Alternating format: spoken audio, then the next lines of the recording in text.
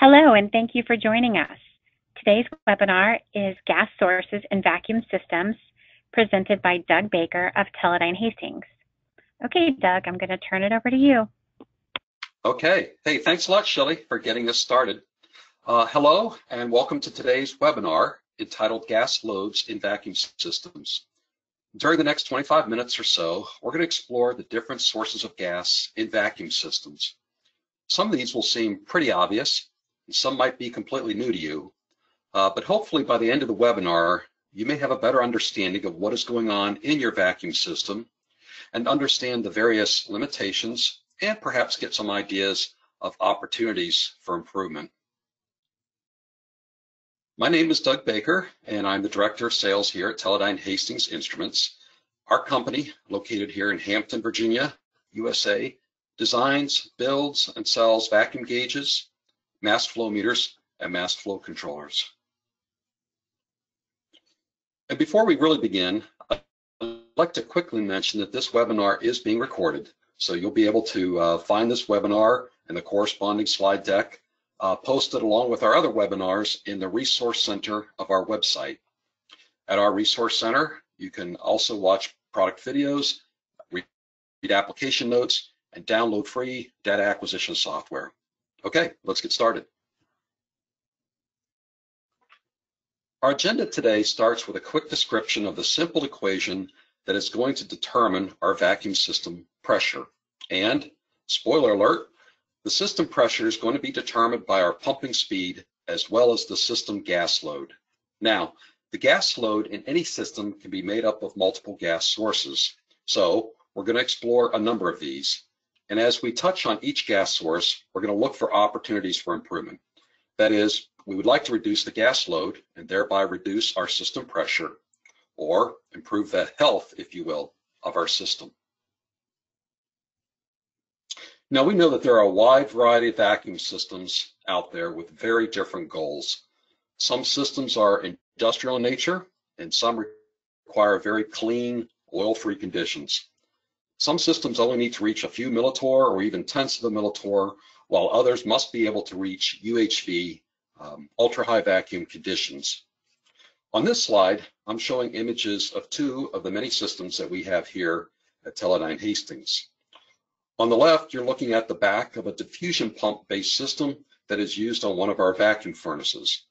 Our vacuum furnaces here are used in the manufacture of our largest laminar flow elements, some of those laminar flow elements are mounted on 8-inch flanges and can measure flows up to 15,000 standard liters per minute. On the right is one of our UHV chambers, uh, which is used in engineering for the development and testing of vacuum gauges. The point here is that every vacuum application has its own set of vacuum requirements, not only in terms of required pressure, but also in terms of cleanliness, or maybe you're going for a certain gas composition. A common goal here is that the vacuum system is a means to control the internal environment. And all the systems associated with these vacuum applications are going to play by the same basic rule. At some point during pump down, the system will usually reach a point where there's a dominant gas source that may need to be dealt with before the system's going to go any lower. And that simple equation is Q equals SP, where Q is the gas load, S is the effective pumping speed, and P is the pressure.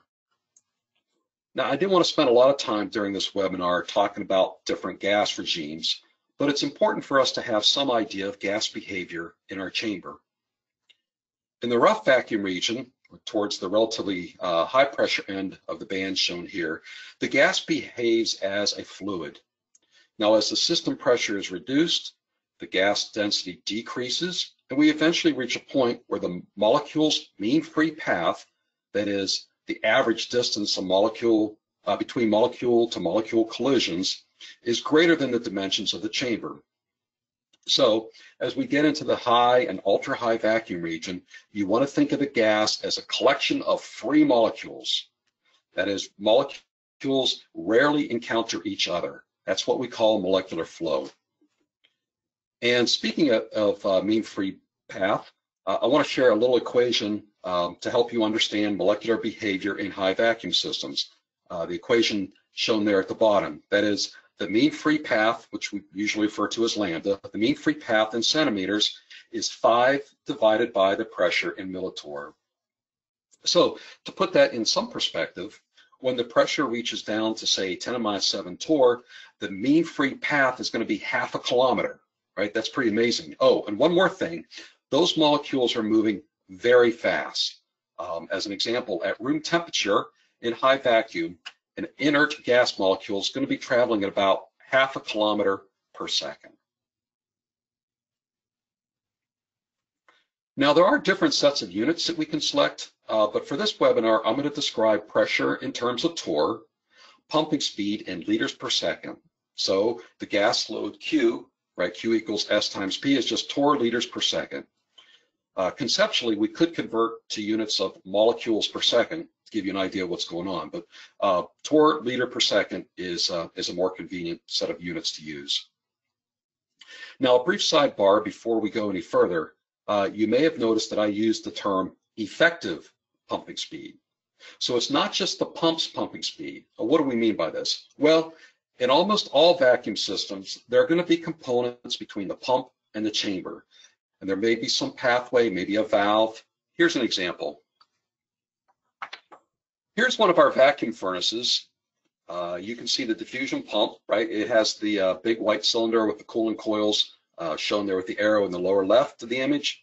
On top of that pump is a water-cooled baffle uh, to prevent backstreaming. We'll talk more about that later on. And then there's a large right angle gate valve, and then you see a cylindrical path leading into the chamber moving off to the right. The point is that each of these components has a property called conductance. Uh, that's going to tell us about capacity to let gas move from one end to the other. And it turns out that you can add conductance in a vacuum system just like you would add capacitors in series. And that kind of makes sense, right? The more things you put in the path of the gas, the lower the overall conductance is going to be. And we use this conductance term because it allows us to get an idea of the effective pumping speed of our system. Conceptually, this equation tells us what's going on in our system. So you can have a high high speed pump, but your conductance could be limiting your overall effective pumping speed. And just as a quick illustrative example, I, I have seen a pretty wacky system where the user had a turbo pump, four inch conflat flange, but then they were necked down to a quarter inch copper line connecting to their system. Now that's kind of an extreme example of a conductance limitation, but I think you get the point here. All right, uh, let's move on. Now, turbo pumps and diffusion pumps often have a fairly broad region of pressure where the pumping speed, S, is constant. So if we assume that our conductance is constant, our pumping speed is constant, um, we can see here that reducing our pressure P is really going to be determined by our ability to reduce the total gas load Q. All right, and before we can reduce our gas load, we need to understand the possible gas sources that we can identify uh, so we can identify what we're dealing with. Now, I personally have worked on a lot of different UHV systems, um, and it might be fun here to talk about why certain applications require low pressures. So let's talk about the de definition of a Langmuir. A Langmuir, which is named for Irving Langmuir, is the amount of gas exposure at a pressure of 10 to minus 6 torr for a period of one second. Let me say it again. The amount of gas exposure at 10 to minus 6 torr for one second. Conceptually, one Langmuir corresponds to the amount of gas dosage required to cover approximately one monolayer of a surface with gas. So roughly, uh, you have this rule of thumb that it takes about three seconds at 10 to minus 6 torr to cover a surface with one monolayer. Now, I'm not taking into account anything about molecule to surface sticking coefficients. The point here is that each order of magnitude reduction in pressure in terms of the time required to build up a monolayer of gas on a surface. All right, so we have our vacuum system and life is fine. We're gonna go through a little example here. And every day for the last several months or even years, Uh, we know that we can reach a base pressure, let's say in the 10 to minus 6 torr. But then one day we notice that we can't even reach into the 5 range, which means we aren't even getting into the 10 to minus 5 torr readings. So let's assume for a moment that we've ruled out any issues with our pumps or gauges, something else is going on.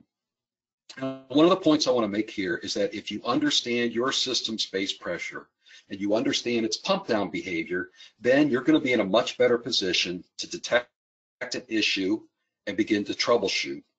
Okay, what's going on with our system? It's time to look at the different sources of gas that could be going into our vacuum system. So as we talk about gas load and vacuum systems, I'm going to use this generic cylindrical chamber shown here. Uh, it has a door that swings open to the right. We can load up the chamber, we can close the door, we can pump it down. And the first source of gas that we're going to address are leaks. That seems pretty obvious, right? And there are really two kinds of leaks, and I'm going to address both real and virtual leaks. Real leaks are what most of us think of as a leak right? It's a pathway for molecules to travel from outside the chamber into the vacuum. And if you've never worked with high vacuum systems or been bitten by a real leak, you may be shocked to uh, learn the sort of things that can cause a leak. I have seen a single hair accidentally left across an O-ring create a leak path. Of course, not my hair, but it does bring up the requirement for cleanliness. It does not take much to cause a problem dirt, debris around vacuum systems are just opportunities for problems. Also, users can get nicks in Viton gaskets that are leak paths. So, as a good practice, you always want to inspect O-rings and gasket seals before you button up your system. You want to look for any uh, discontinuities in the uh, O-ring. You want to look for any, any sort of debris. Now, in metal sealed systems, tiny nicks in the knife edges on conflat flanges, of course, can be a, a leak path. So if you're bolting up a conflat flange, make sure you carefully inspect both the sealing faces as well as the copper gaskets. Uh, feed throughs, uh, such as electrical feed throughs or liquid feed throughs, can also have issues um, at, at, uh, at the joints.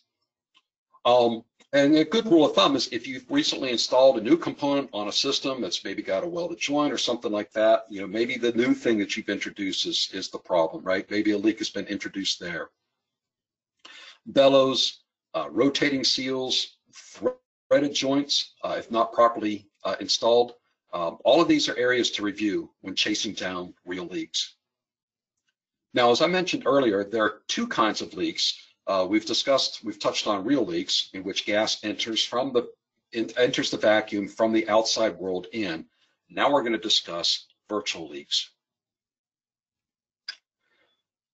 A virtual leak occurs when you have a trapped volume of air inside the vacuum system.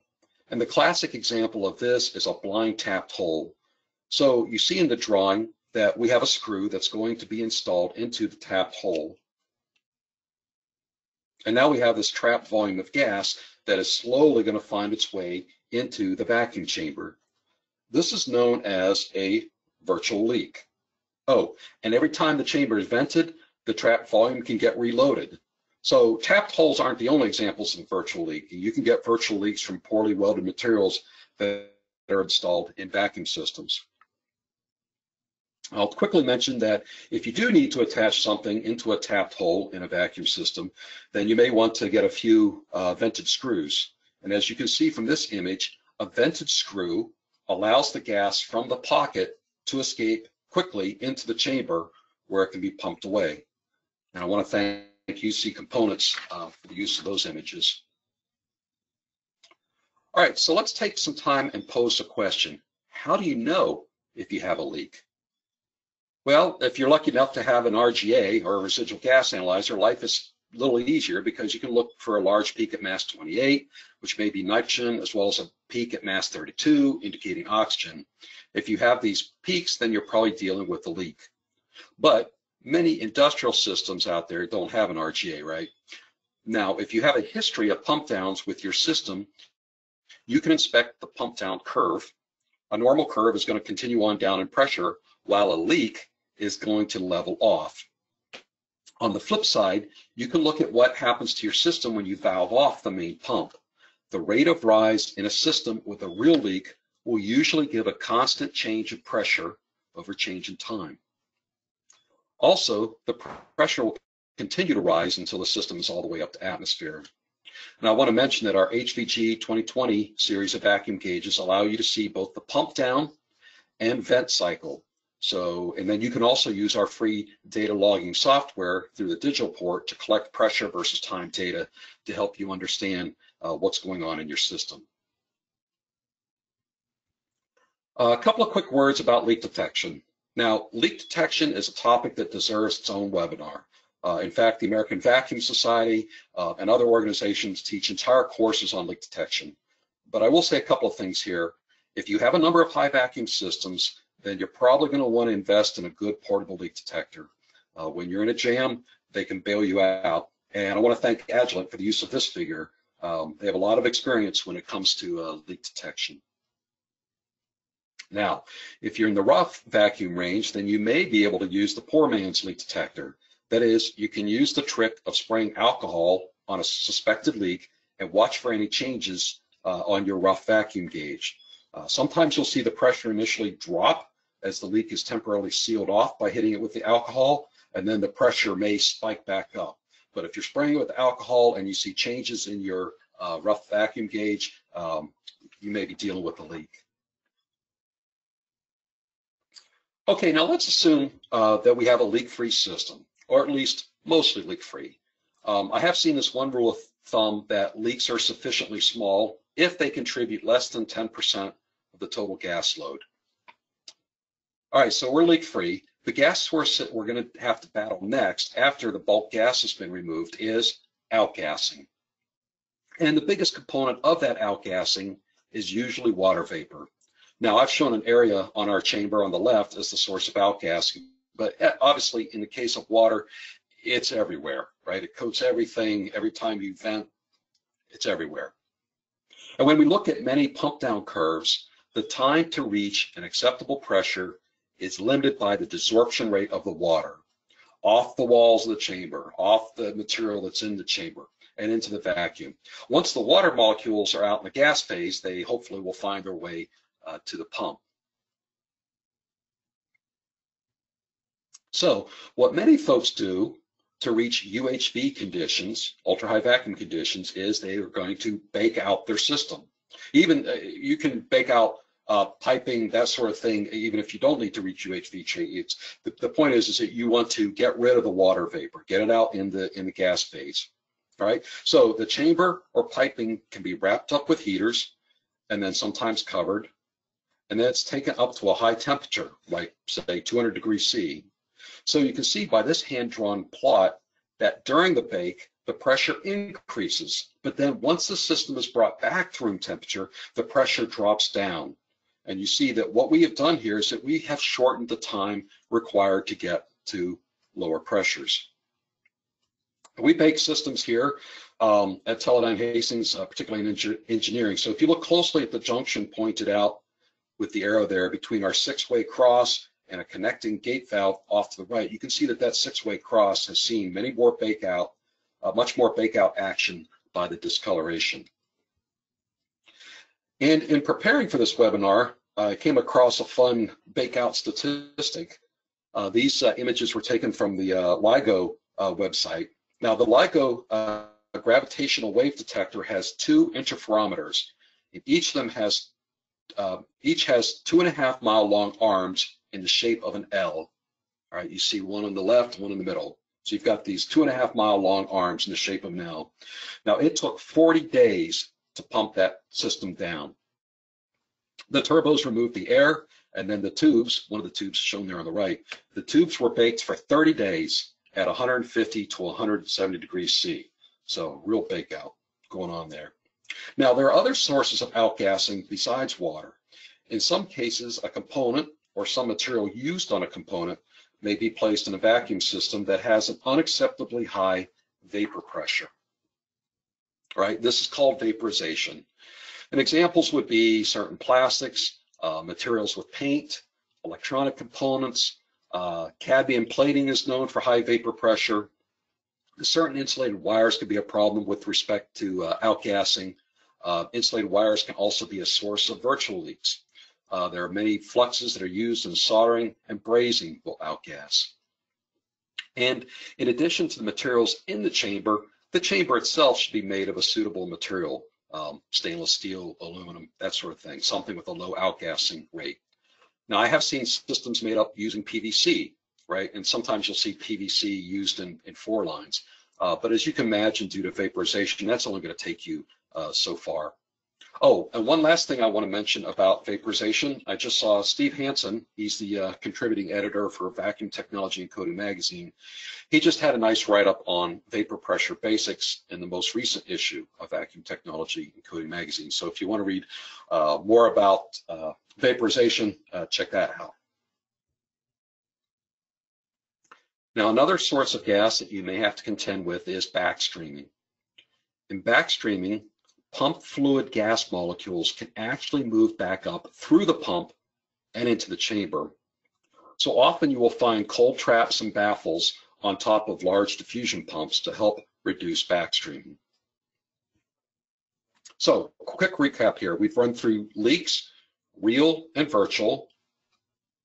We've talked about outgassing, uh, water desorption, vaporization, other materials, and we touched real quickly on backstreaming. Next, we're going to briefly describe diffusion. Now, uh, in the UHV world, and obviously this chamber, you know, with the door opening up to the right with an O-ring seal, probably not going to be an, a, a, UHV system, but just for uh, illustration here, in the UHV world, where we've baked out, uh, we've got a mostly water-free system now. Uh, when we have a leak-free and we've baked out the system, the two gases that are going to be left usually are going to be hydrogen and CO, right? Those are going to be the dominant residual gases. And both hydrogen and CO diffuse out from the grain boundaries in the stainless steel. Now, hydrogen is a very small atom, right? Uh, and it can easily diffuse through most metal. When a hydrogen atom reaches the surface, it can combine with another hydrogen atom and it enters the gas phase as an H2 molecule. That's a little bit on diffusion. And lastly, uh, we're going to talk about permeation. Now, permeation is where gas molecules make it all the way through from outside the chamber into the vacuum. So it's kind of a three-step process, right? You, you start with the absorption of gas on the outside of the material, you've got the diffusion through the material, and then you have desorption or outgassing into the vacuum. Now, nitrogen, oxygen, water vapor, uh, they all travel, um, I should say water molecules, all travel as a molecule. But hydrogen actually moves through as an atom H. That is, we say it dissociates in the metal and then it recombines at the surface.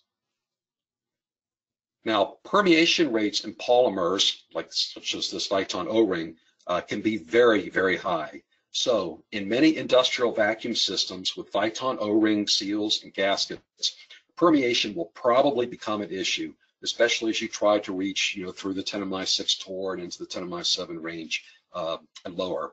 Obviously, if you can reduce the number of these polymeric seals, then you can reduce the permeation gas load. Now, I know that was a fast tour, but you now have a, a more complete picture. Each of the gas sources that we touched on today, leaks, outgassing, permeation, backstreaming.